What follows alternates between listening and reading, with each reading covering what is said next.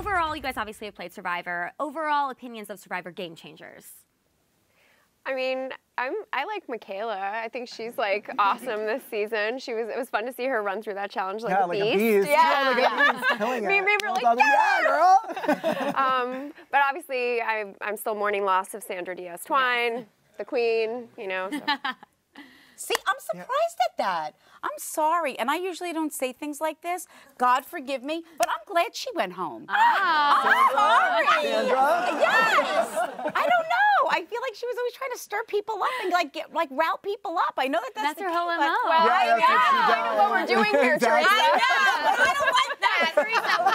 Theresa, would, would you play Survivor? If they asked you, if they called you, would you do it?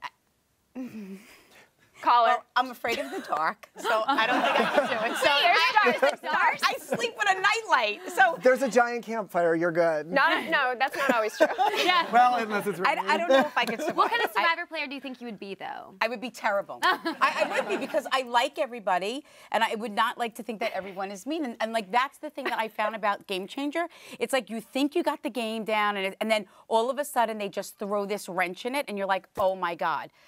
So There's a lot of luck involved. Now, yeah. if you guys were on a tribe with the Long Island Medium, would you align with her, vote her out first? What would you do? I would totally align with her. Are you crazy? All right, well, you know what? You're crazy and amazing, so maybe I would do Survivor. It depends on Final who would two be on right it. now. So I would just be afraid that you would use things against me. Like you would say that my relatives would say Yeah, that I grandma's know, coming you through. She says, "Give me the idol." I okay.